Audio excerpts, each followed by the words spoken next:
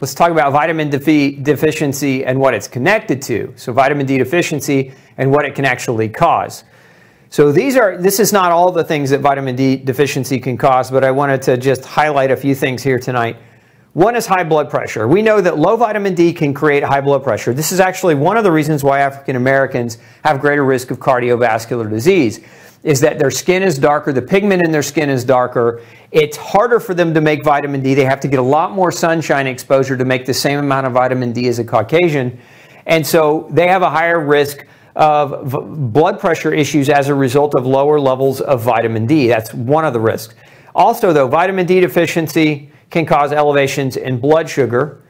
It can cause tendencies toward obesity, okay?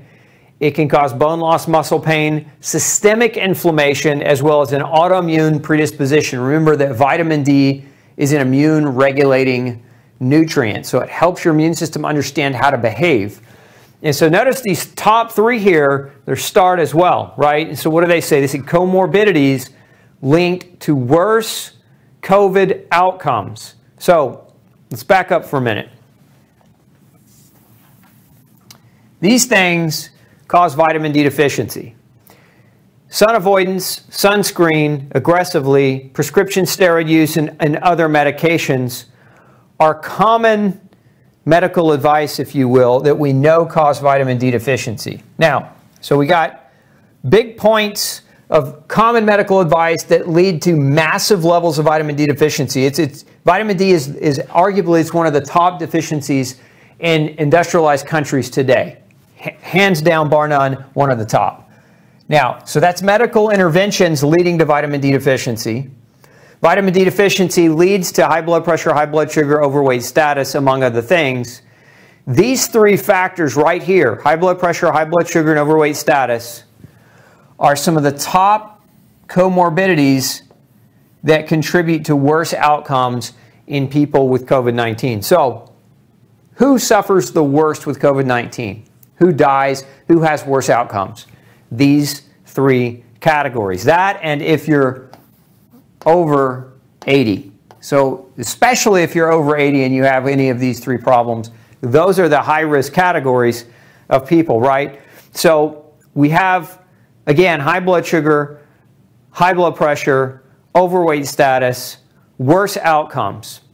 Now, these three things can all be caused by vitamin D deficiency. Your age, sorry, sorry folks, you can't control your age by taking vitamin D.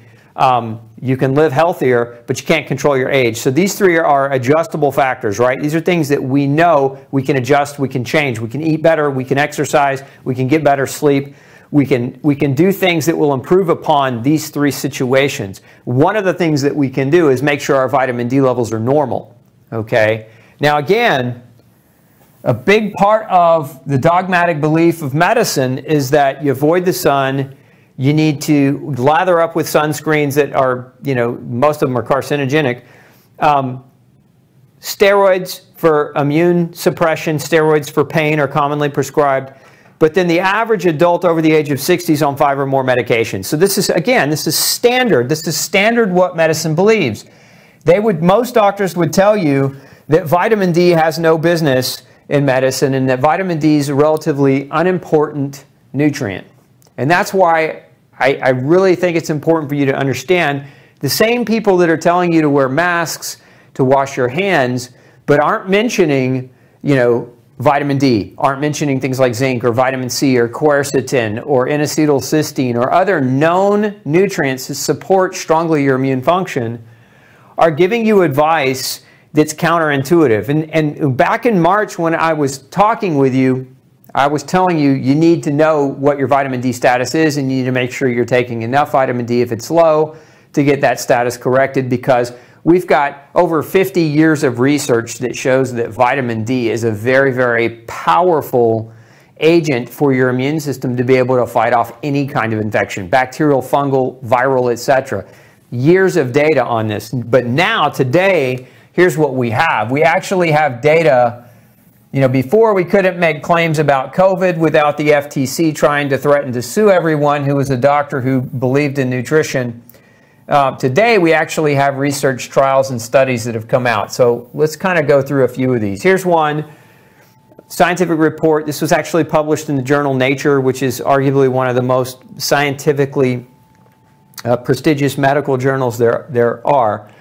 So you can see here analysis of vitamin D level among asymptomatic and critically ill COVID 19 patients and its correlation with inflammatory markers. What these guys did is they, they took people um, with COVID and they measured their vitamin D, but they also measured serum inflammatory markers. And here's what they found, kind of in general summary serum levels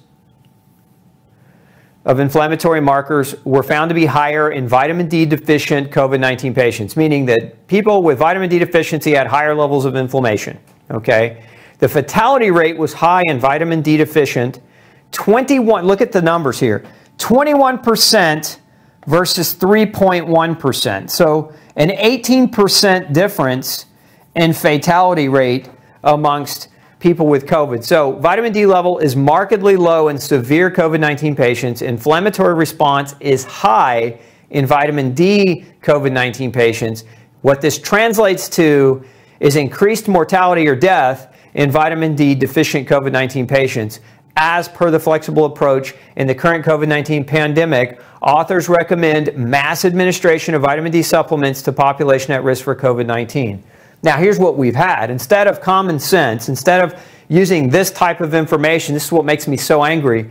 Instead of saying, let's, let's give people vitamin D because the research actually shows that low levels of vitamin D plus COVID will make you more inflamed and increase your risk of dying. And it's not just COVID, by the way, it's, it's other viral infectious diseases, other colds, other things like influenza. It's the same holds true with vitamin D in those conditions. So, again, you can apply this whether you're scared of COVID or whether you think COVID is a hoax. I don't care what your thoughts are on COVID. I want you to know you can apply this same information to any viral infection, to any cold or flu, and the outcomes are going to be sustainably the same.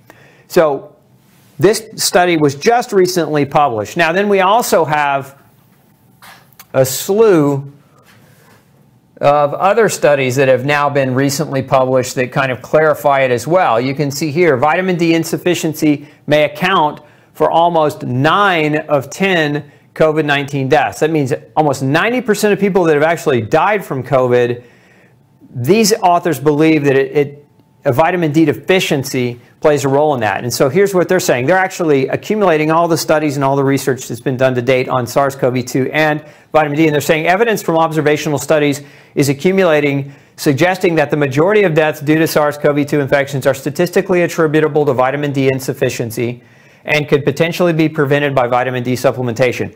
Again, think about that for a minute. I was called a heretic and I was told that I was being irresponsible and recommending lethal doses because I was recommending vitamin D. And, and, and so now the science, again, the science doesn't lie. The real science, I should say, doesn't lie. These people are actually in the trenches doing research on people that are sick in hospital beds with COVID. Here's another research study recently published. You can see our study demonstrates an association between vitamin D deficiency and severity mortality of COVID 19, highlighting the need for interventional studies on vitamin D supplementation in SARS CoV 2 affected individuals. And so then we have so we have that study that was published, and then we have this other one here on vitamin D um, deficiency and outcome of COVID 19 patients. And so you can see here, our study demonstrates an association between vitamin D deficiency, severity, and mortality of COVID 19, highlighting the need uh, for more research. Hey, don't forget to check out the rest of the series right here. Make sure you hit subscribe below. And as always, thanks for tuning in.